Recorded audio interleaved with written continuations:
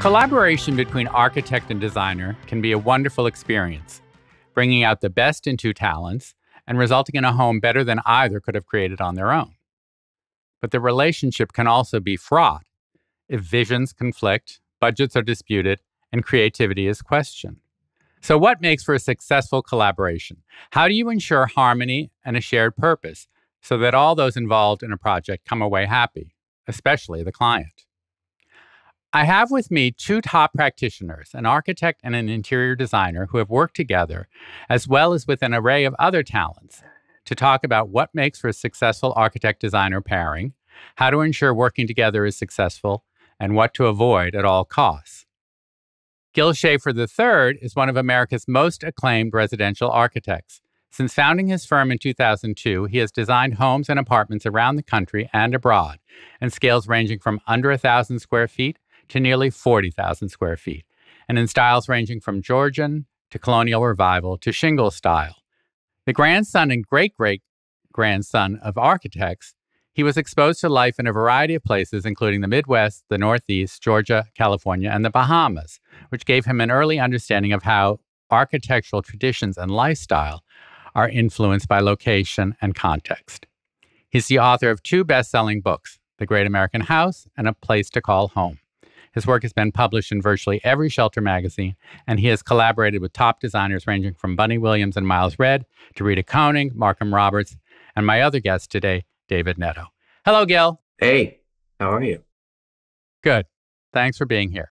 Delighted. David Netto grew up in New York, surrounded by taste and immersed in the world of design. His father owned the fabric house Cowtan and Tout. From an early age, he was interested in architecture, furniture, and cars and their history. After dropping out of Harvard Architecture School, he founded his studio in New York in 2000 and is known for bringing to modernism a touch of warmth and personality, and to traditionalism, youthful energy and a dash of the exotic. Projects have been published in virtually every major shelter magazine, and he has designed a collection of modern children's furniture inspired by his two daughters. He's also a writer and has contributed to the Wall Street Journal, the New York Times, and Town and Country, among others. And he has written a monograph on Francois Catroux and is currently working on the text for a book on Stephen Sills due this fall, as well as on a book of his own work. Welcome, David. Nice to see you, Michael. Great. I'm so glad And that you're both here and you've agreed to do this. I've heard from so many designers over the years complaining that architects, you know, will get the lion's share of a budget on a project. I've heard architects complaining that designers don't appreciate what they do. So I would love to get a sense. And like Gil, let's start with you. What do you think makes for a successful collaboration with designer? Because you've worked with so many top talents. Well, I, I think I think um, being sort of in the same uh, mindset is is a big help. I think that uh, if you're if you come from too far apart in two different places, it's it's difficult because your vision is not going to be enough in sync um, that it's probably not going to work too well.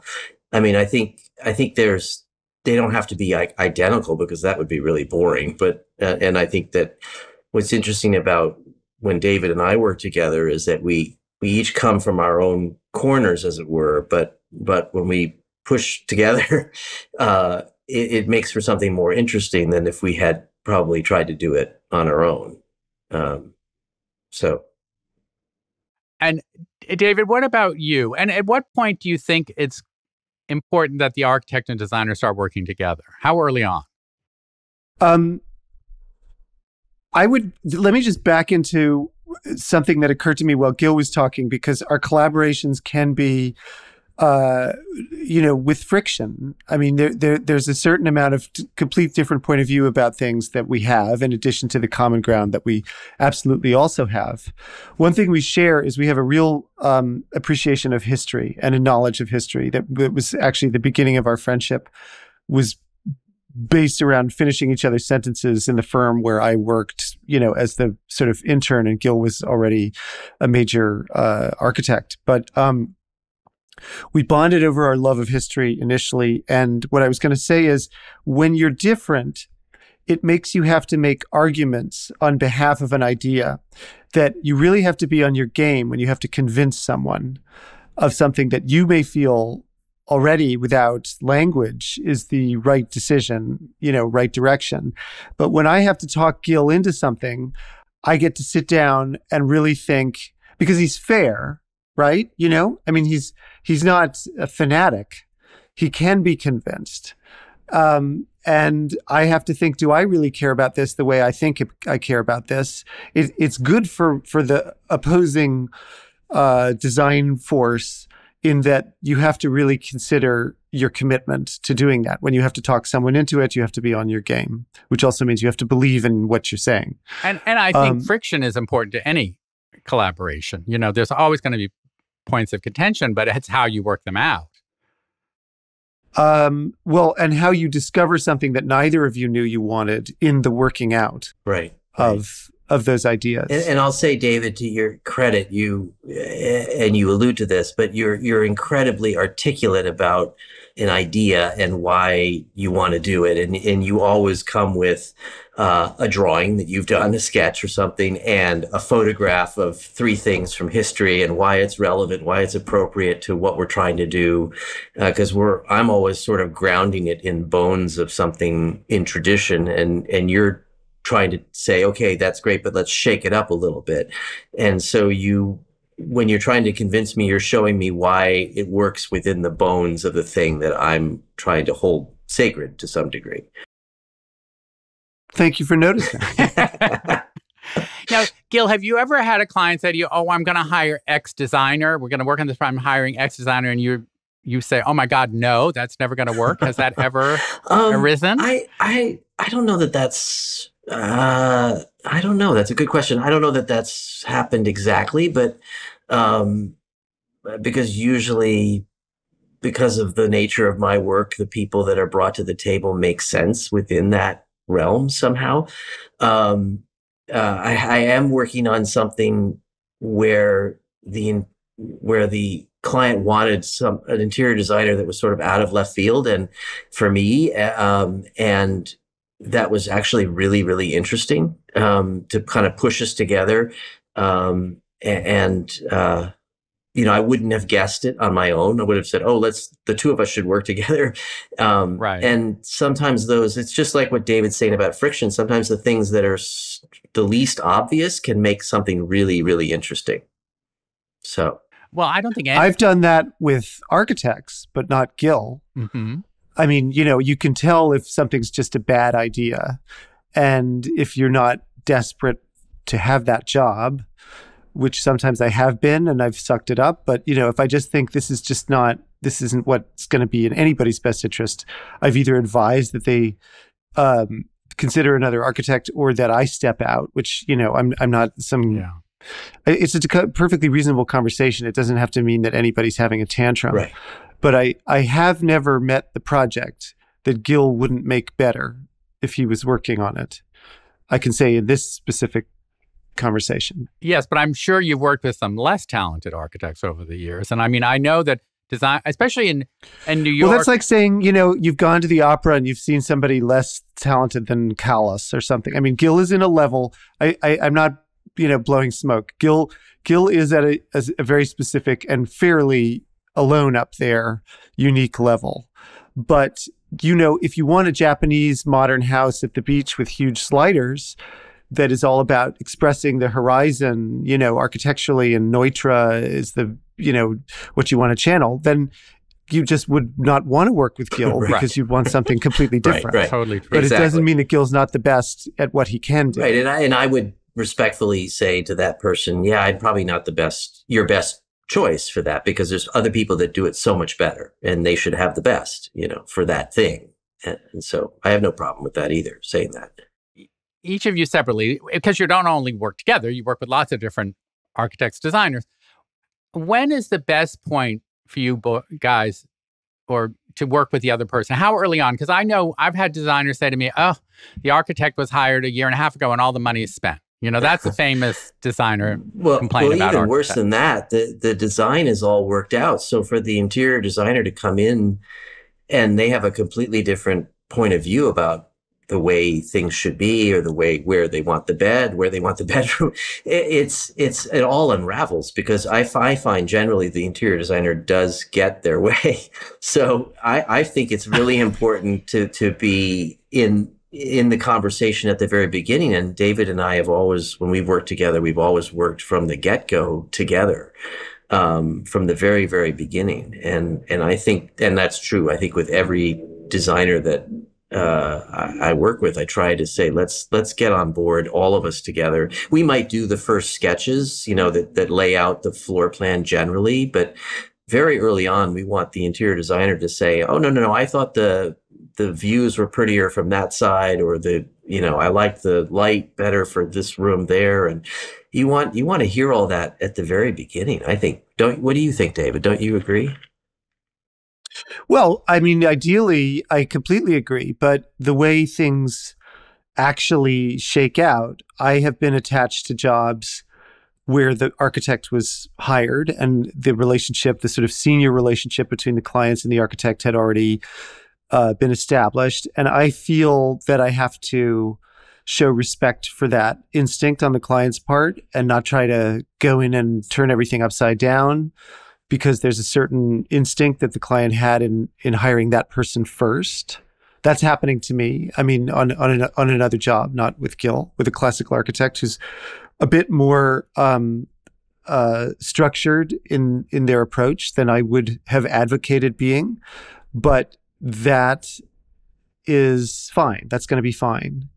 Um, um, I was going to ask Gil actually. You know, isn't it much more alarming when you don't know what's happening with the landscape for for years well, or that's months the third person than the decoration right? because that that really is the biggest unknown in how your architecture is going to be perceived and relate to its site and um, that must be scary. I mean, less Super so for great. me, but you Yeah, know, yeah. I would think you'd be more alarmed if you didn't meet the landscape designer until the end than the decorator. Yeah, no, for sure. I think that would be yes. That's pretty bad. Um, well, do you do you think that most clients understand the importance of all of this early on, or because I I know some clients, people who have big houses, say, "Oh, I'm hiring this designer or I'm hiring this architect," and then say, "Oh, well, who's going to do the architecture?" And they don't, they haven't thought about it. They, you know, so many clients are, you know, influenced by Instagram, magazines, whatever. They want this look, but the, I, I think they don't understand the complexity of all the levels involved. Is and is that an issue for you? How do you educate your clients? I guess is what I'm asking. I, I I don't know if that's for me or for Gil, but I would say that that f- the, the the the category that most client th- opinions belong in is where I would put that one, which is they say they know what they want, but they don't really know what they want. And so that's not a put down. That just means that in defining our job, it's to help offer, whether we do it sideways or obliquely or gently or directly. Um, our job is to advise and guide someone to the right answer, whether they think they already have it or they like their own opinion more than ours or not. You know, there are many ways psychologically that, besides direct confrontation, that you can influence the outcome of client thinking. And a really skilled decorator or architect, you know, whoever has the ear of the person makes their own idea better. You know, it doesn't mean you're inserting your ego about who's going to get hired. It means you know this person thinks they know what they want, but but it's your job to know things they never knew right, right. and make that happen. and and I and you have to kind of explain the importance of all these people involved in the project being involved early on. You, have to explain it because it's not always obvious to everyone, and and you have to explain why you know it it can un- unravel later if they bring in the decorator later or the landscape designer later. Um, I think it's it is super important to to explain that to them. And there might not be the personal chemistry between that person and whoever you're suggesting. You Well, know. Uh, the, Yeah. on paper it might seem like a great Right. idea, and then you go to the meeting and it goes splat, and there's no Yeah, energy or whatever. Right.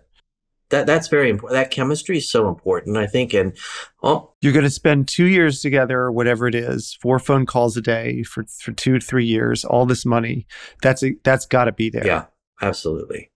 And David, you mentioned about having the client's ear, and I think that that's something that's really crucially important. But I I know from designers I've talked to, and even architects too, that now, especially on the level that y- you work on, Gil and and David as well, you know, very high end houses, big houses, uh, that a lot of these clients are super busy, whatever, and there's arisen this thing called the client rep. And I'd love to get your take on that because the client rep is supposed to represent the client. I mean, that's by definition. But, you know, it adds a layer in between you and what the client wants or thinks they want, as you said, David, because many of us don't know what we really want. We think we know. So, has that affected you, Gil? I think I've been pretty. Lo- I mean, oddly enough, most of my projects haven't had client reps, um, but uh, I, and I think you have to be careful what who the client rep is, and you don't always have a choice. But uh, there are some um, the ones that I've worked with. I've been pretty lucky. They've they've been really good at what they do, and they understand the collaborative nature of it of everything, and and um, are pretty fair about getting everyone's voice in there. Um, but there are some who are really motivated by budget and time schedule and that's kind of that's how they're heroes to the client and and that can kind of mess everything up um, if they don't understand the nuances of certain design decisions. So uh, you know i think you're right it can be difficult but i think um, there are also really good client reps who understand how to do this well.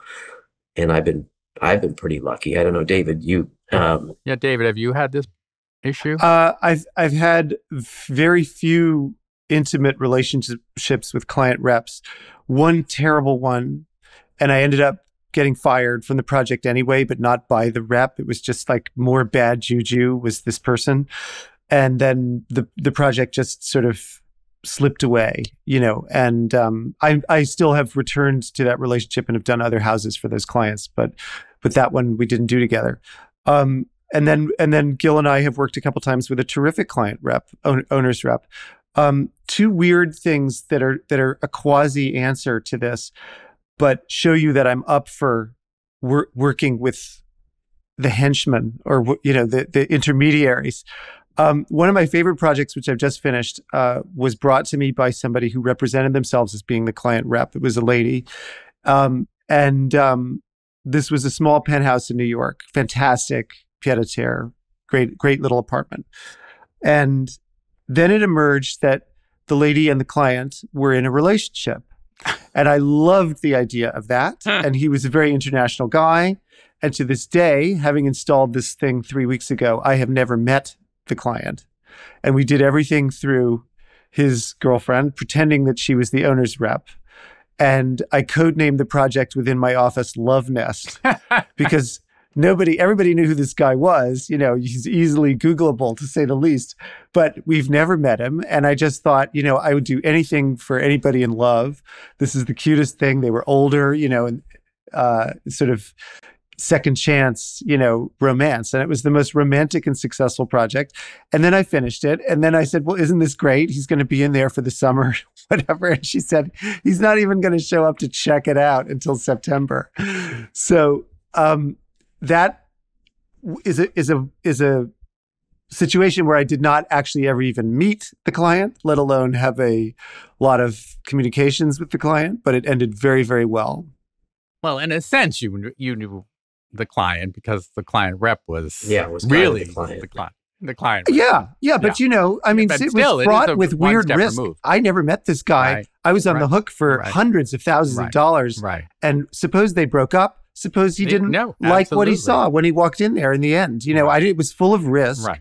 but I just decided to believe what everybody said they wanted and do my best work for them. And it's great, you know, it's, but that, that did go well. Another thing that didn't happen at all, but that was my own decision was a very well-known architect that I've worked with, again, not Gil, um, said that somebody they they they've worked with for years wanted to hire me, and I said, "Great, I'll talk to them." And they said, "No, they don't want to talk to you yet. They they want just to sort of put you in the pocket for this project that they're developing the design and the, or you know sourcing the real estate hadn't been uh, bought yet or something." But like it was just kind of a mafia style, you know, tap on the shoulder we'll call you when we need you.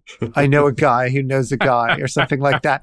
And I thought if this person's perception of what the designer client relationship should be is that he thinks he wants to hire somebody he's never even spoke to, spoken to, who who he wants no advice from about the house.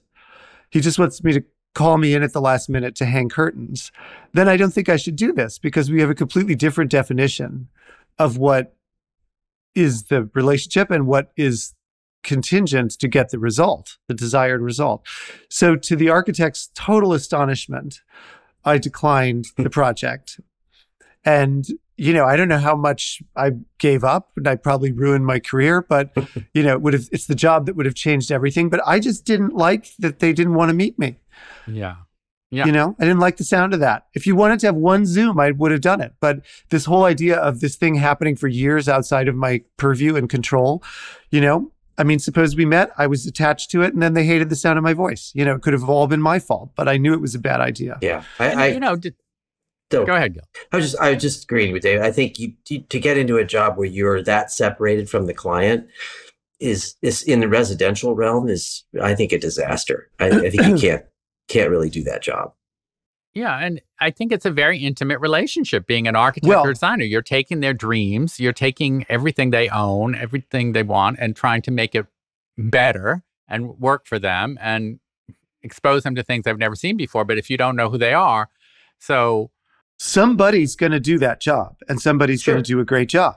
So, Gil, I sort of disagree with you that you can't do that job. Somebody who's a machine with some kind of corporate structure in their office and a, a, mindset where they don't need this kind of intimacy where you can email the person and say, I'm standing in Hudson in front of the shop window, yes or no. You know, somebody's going to do that job and they'll probably do a great job and they'll probably make a lot of money, but it just wasn't well, a rope but the client is probably then somebody who doesn't really care about design that much. So, well, the point is, I don't know what they are. They yeah, make they no, may care more about their house than anybody. Right but I don't, I didn't relate to one line item in the whole brief. Most of all, that there was no house and this house was going to be acquired without my being consulted. You know, nobody's that mega that they don't need to hear exactly. from me. They have to set their feet on the ground at some point. Um, now, Gil, I wanted to ask you. We, we've been talking mostly about, you know, houses, but you both do tons of apartments, and you know, and especially in Manhattan or, but a lot of cities, Miami, when you're doing apartments and renovating apartments, the architecture was done a while back, you know, and often, especially new developments or whatever, the architecture isn't that great. I've had so many designers say to me, "Oh my God, I can't believe where they put the toilet. I can't believe where they put the door." The you know, so how how does when you're coming in as an architect working on another architect's building, mm. what is that like for you?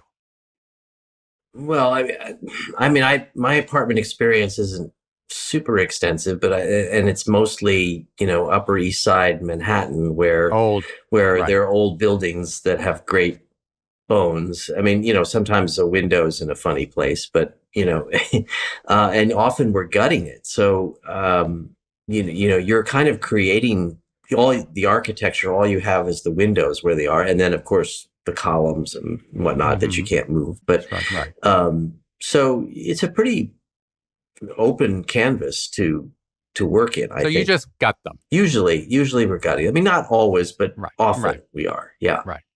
And David, what about you? Because I'm sure you've been hired to work on some apartments that yeah know, ideal layout's not ideal, whatever. Um, the new ones have gotten better. Um, be largely because of Bob Stern and Peter Pennoyer. Uh, apartment design in New York has gotten a lot better than when they started to say they were as good as the 20s in the 90s.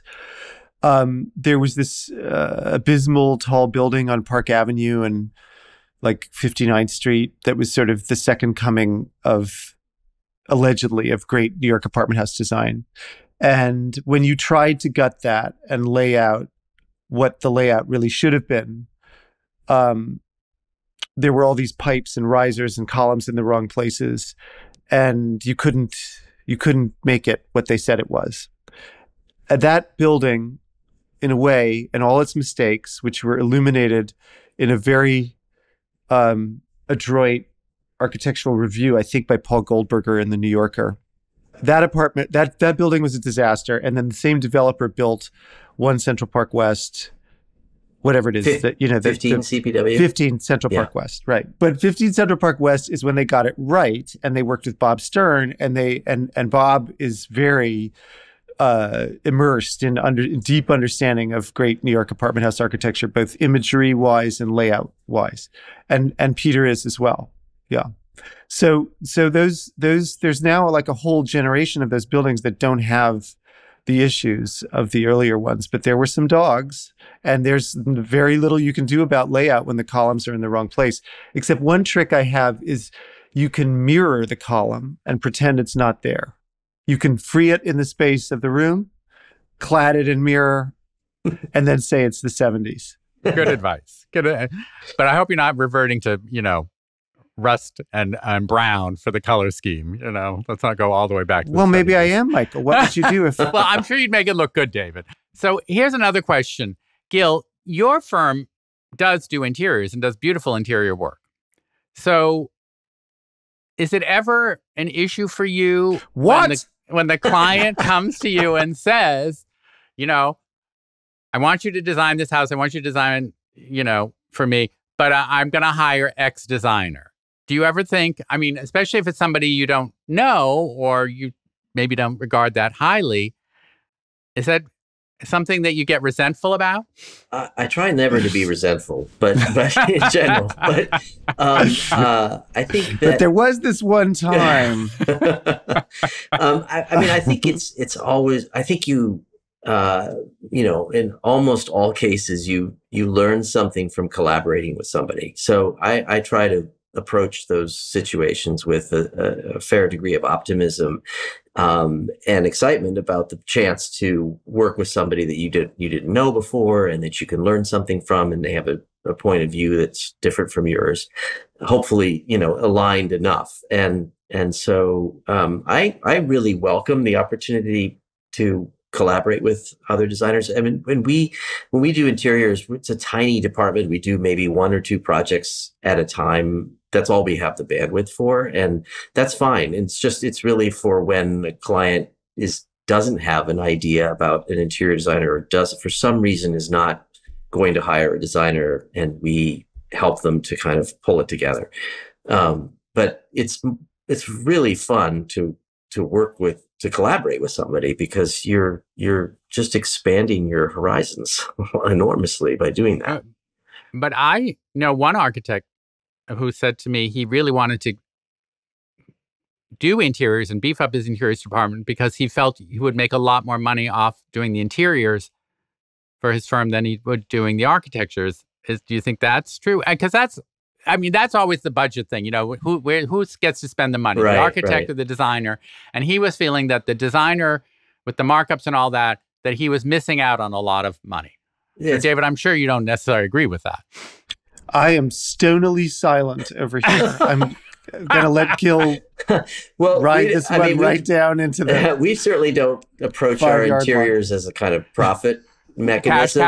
um, and I'm sure that our business model is terrible, but um, you know, it's it's just not You're our not doing so it's not bad, our Gil. primary business. So we, Mhm. you know, we really just uh, we we don't have big markups and all that kind of thing. So uh, maybe for s- if we operated it differently, it might be, but it's just not our approach. Um, so I, I don't I don't see it as a, a oh I lost out on the big you know payday because we didn't do the decorating. Um, I just don't approach it that way. Uh, it's more I'm more interested in what the final outcome is going to be uh, as as the product.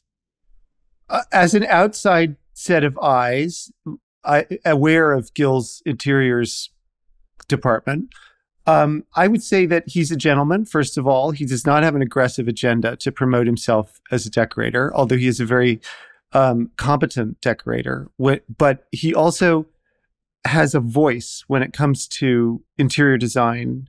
What Gil does, decoration wise, looks like his architecture and goes beautifully with his architecture. And it's not like some huge range of ideas where he would do anything to get the decorating job and is trying to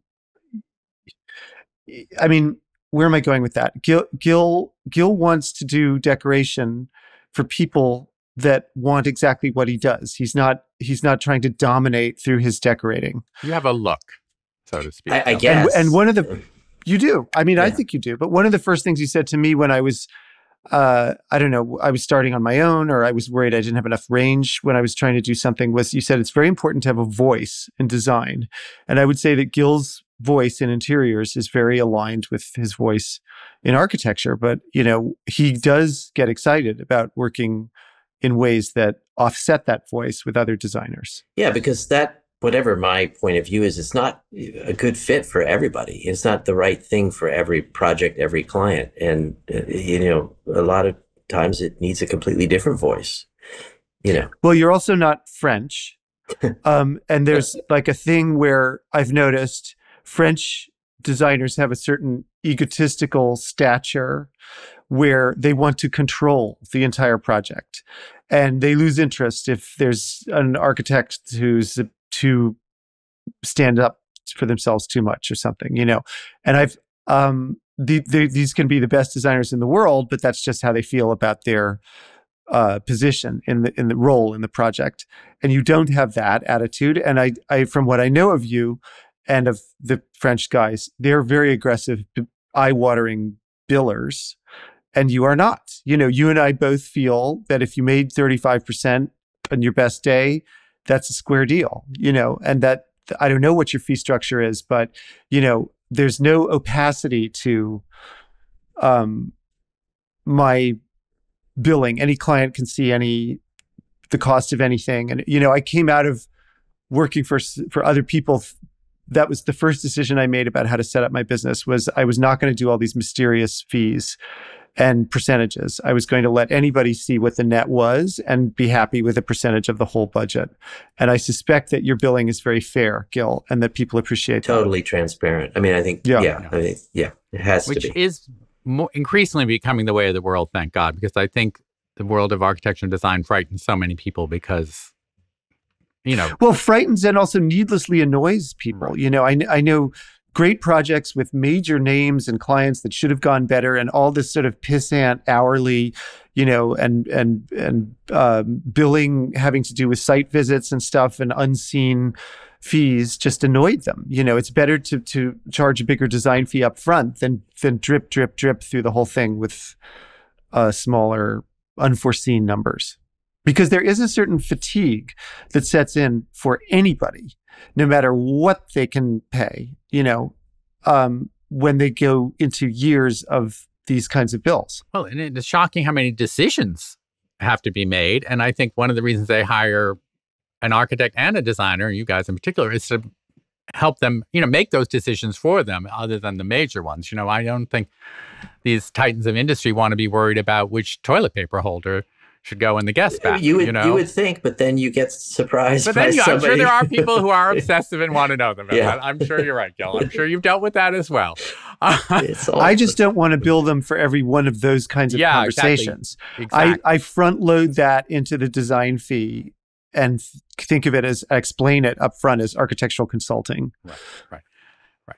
Now, I want to ask each of you, Gil, we'll start with you ha, when clients come to you and say, you know, I want to build a house in Greenwich or I want to build a house in the Hamptons or wherever it is, um, mm-hmm. Wisconsin, um, Vermont, you know, places that you have done work.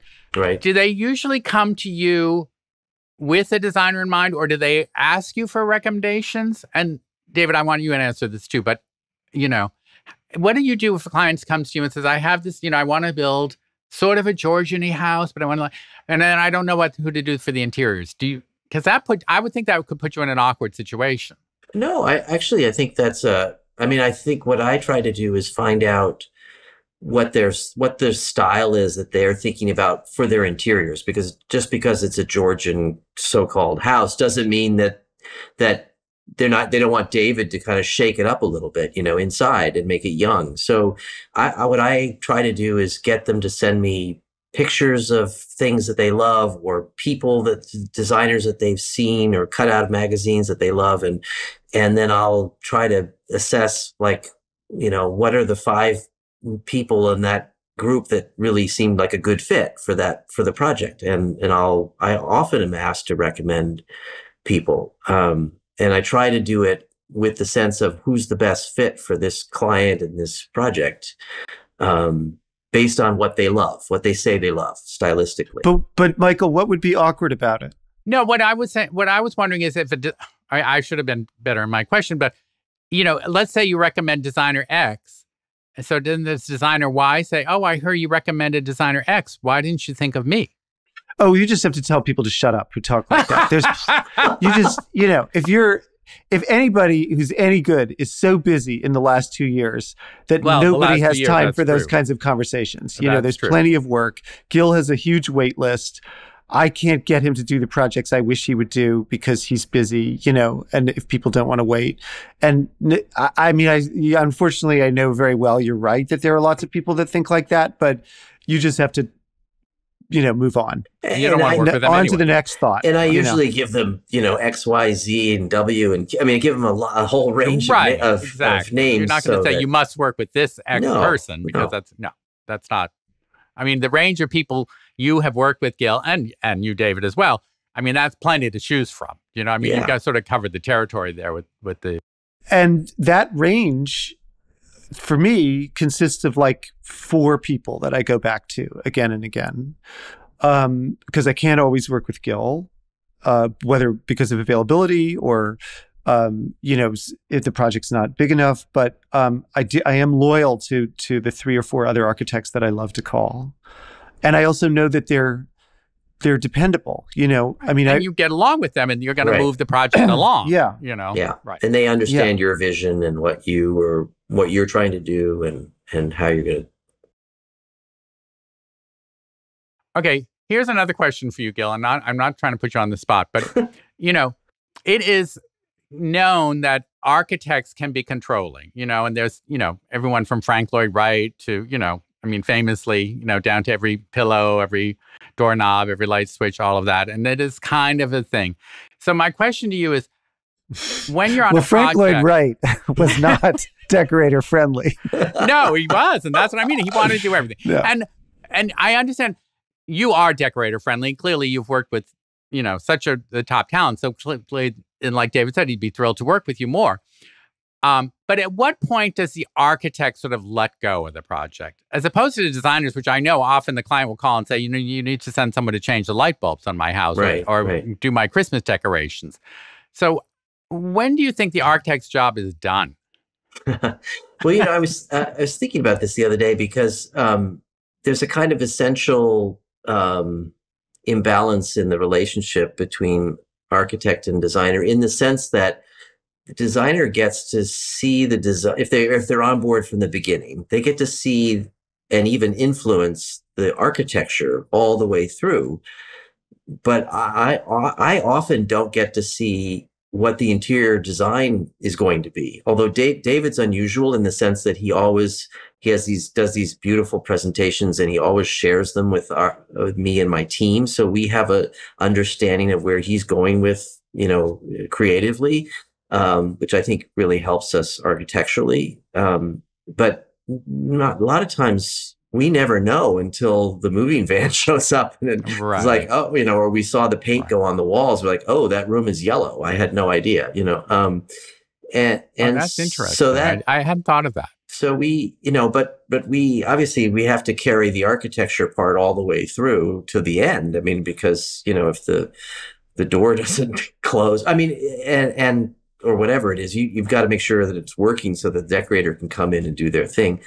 Um, and I think that one of the advantages we have because we do a little decorating is we we kind of know the questions we should be asking of the decorator to make sure the architecture is helping them do what they need to do. For example, like window treatments and how how is the window treatment going to integrate with the window? Because we've we've had to think about that from the decorating side, uh, and and there's a lot of you know if, if the architect screws up the window so that you can't actually hang any window treatments on it. That's a problem. Um, no, I have a friend who has a, a workroom, and he does when, and he says he's shocked how many times there's not enough depth for the right, rods right. or the equipment. You know, exactly. like- so that's been a real advantage to, to because of our doing that kind of work ourselves. We know what questions we should ask and when we should ask them, and, and try to get that information from the interiors person.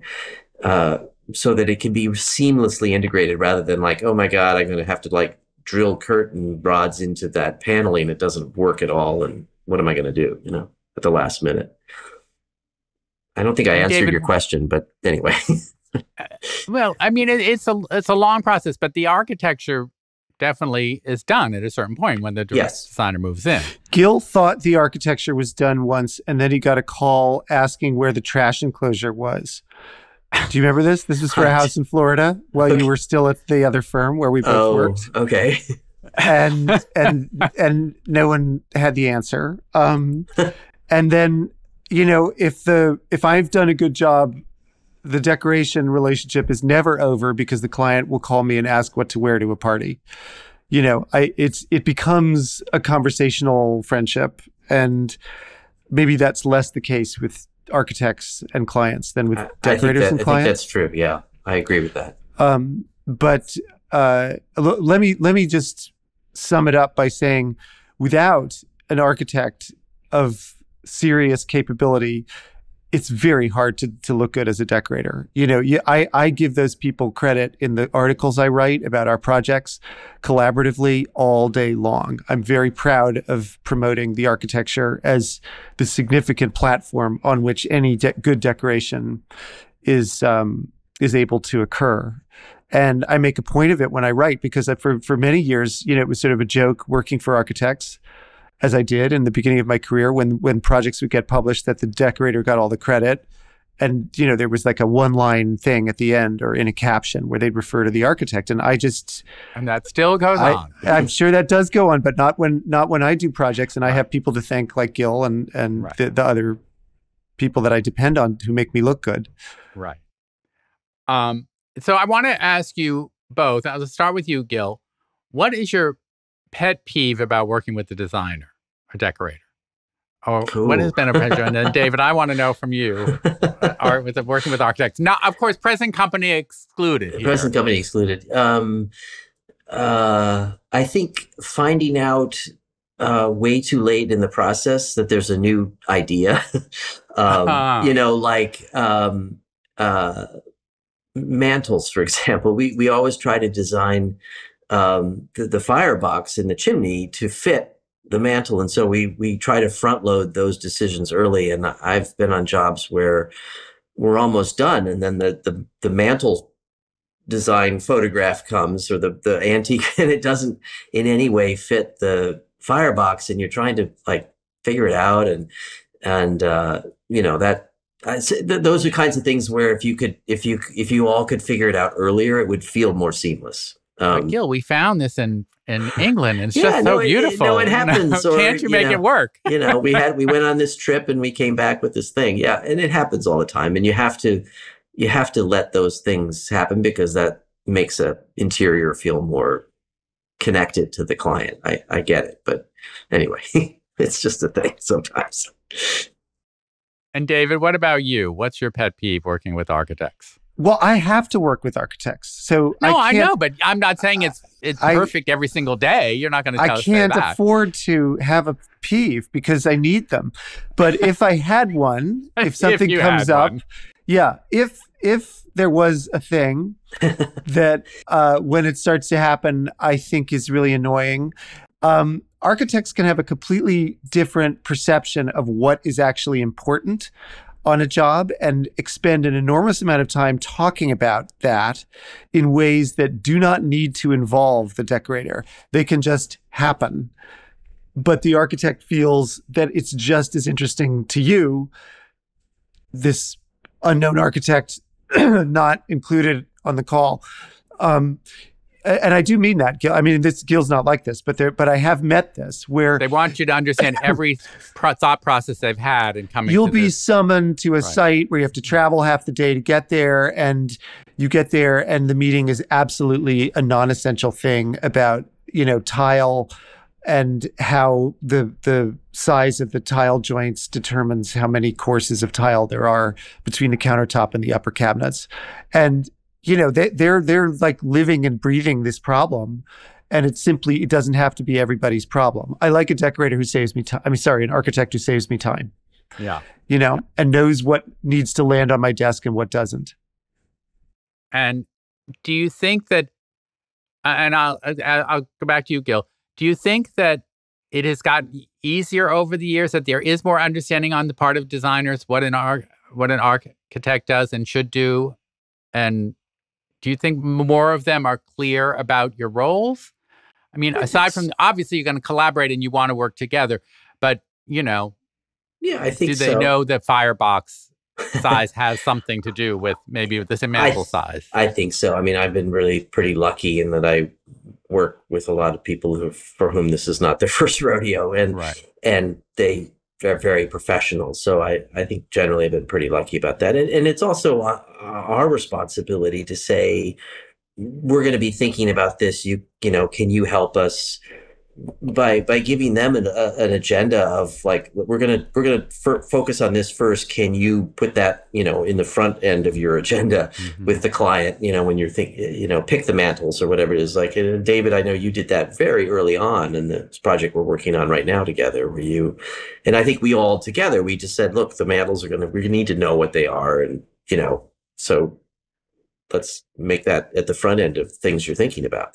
Well, when you have a classical education, which more or less I do have, you know, via Parish Hadley kind of vibrations of my early life, you do view the mantle as the intersection of architecture and decoration in the room. That's that's the mantle and the rug are the two conventional first steps when you're building a room. And so Gil and I would probably share that approach. Yeah.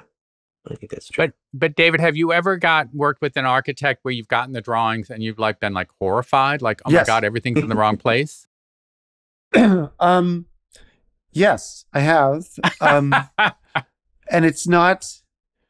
It's sometimes not an architect who's alive. Mm-hmm. I I right. have had somebody buy a house that was so bad that even though it was a multi-million dollar project, I asked them not to buy the house because I didn't know how to fix it, you know, and then they wanted the site. There was no other property like that. And they don't, they're efficient, you know, um, arrived at the right number and decided to make it my problem.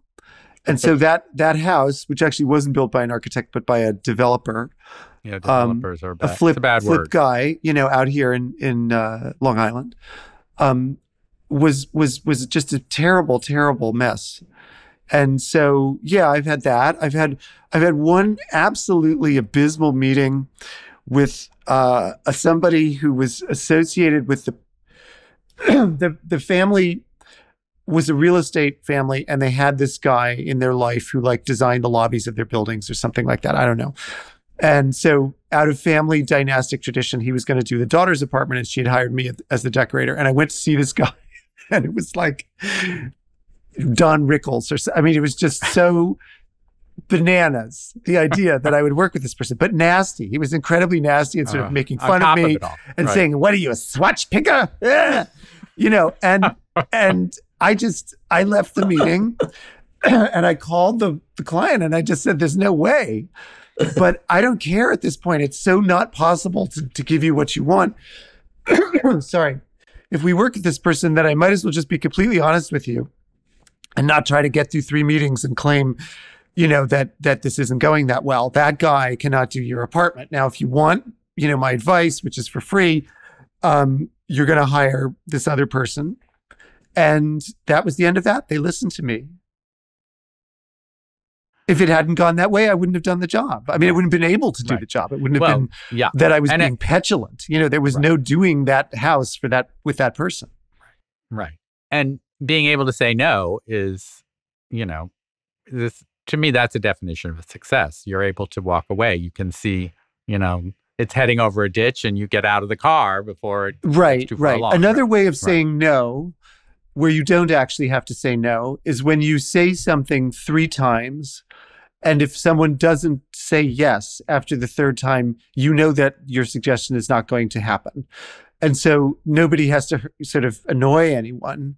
You just take the psychological cue. I have those little backstops in all my standard conversations. And in the initial interview, if somebody's much more interested in their ideas than my ideas, I just think, well, they don't, they probably just don't need me. And um, they're, if they're not a great not listener, listen. and I don't think I'm going to get a lot of yeses because as as much as I've been making fun of people with big egos in this conversation, um, I do feel that the the more yeses I get, the better it looks. okay, and I'm sure that's true, David. You know, I'm sure that. I mean, what else can I say to stand up for myself? But I will say that.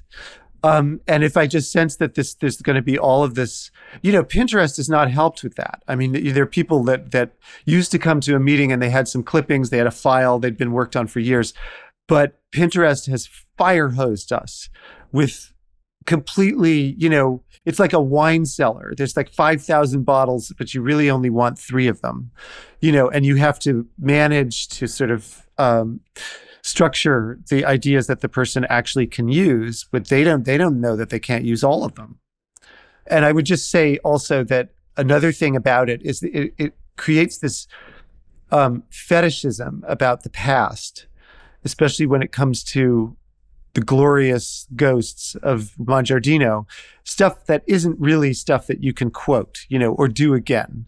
Right. And it doesn't work the, in America. You know, it doesn't, or, work. or it doesn't yeah. work with eight foot ceilings, or it doesn't right. work. You know, right. whatever, or it doesn't work because they don't they, exactly. they, they, don't want to use exactly. wicker, which is the other right. thing you have to do with things like that. It's not just I did a Mongiardino wall treatment. You have to do the next three things right. You know, and I always I like to say to clients, and I hope that that it sort of wakes them up to the possibility. What are we going to add to these stories? You know, I know you love, you have the good taste to be putting these pictures in front of me. And I agree, these are wonderful rooms, but they are the past. And Pauline de Rothschild is, was a unique case of someone with an absolutely batshit creative, fearless, you know, you outlook. are not Pauline de Rothschild. well, I, I, don't make them feel bad about it, but I no. say, you know, what are we going to do that's, that's as, as for you to be important? Because I want that for the for my clients. I don't want them to just live with all these quotes and death dealing sort of, you know, snapshots of great rooms of the past. I want them to add to those stories because I I think we're in a sort of not great moment in American decorating because there's so little original thinking. And Gil, what would be the one thing that you wish more clients understood about what an architect can and should do for them? Hmm. That's a good question. Um, I, I mean, I think they have to trust. Uh, they have to trust us, um, and, and uh, that we're going to get the the proportions. I mean, obviously that, that we're going to get the the layout right, but but also that the proportions and the details and and um, and also that what I have find that happens a lot is as the building's going up, and David, I don't know if you've found the same thing.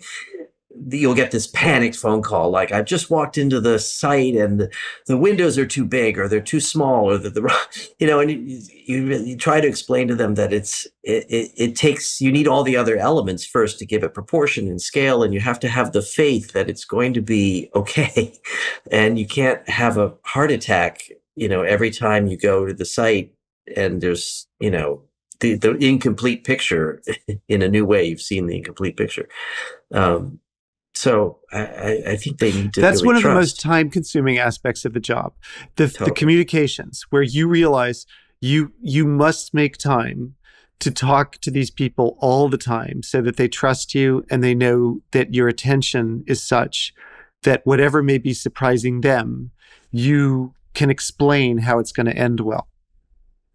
And I think it's hard for people because I, you know, if you look at an empty apartment, it's always going to look smaller than you think it is once there's furniture in there. But you know, people forget those basic things. You know, scale, you know, scale, all well, that I'm, stuff. I'm going right back to what I said before, where they say they knew it, but they don't know it. They don't know? absolutely, yeah, and they, they didn't forget to, it. They never knew right. it.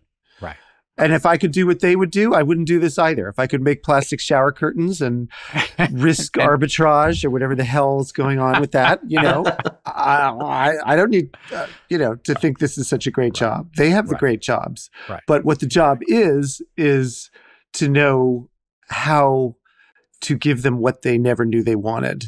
exactly. You know, To- To quote the Quote great Albert Hadley, without right. whom we would literally have nothing. Right. Exactly. Well, this has been so entertaining and informative. I really can't thank you guys enough. Um, so I want to thank Gil Schafer, Thank you. David Netto, and thank everyone for listening to the Chairish podcast.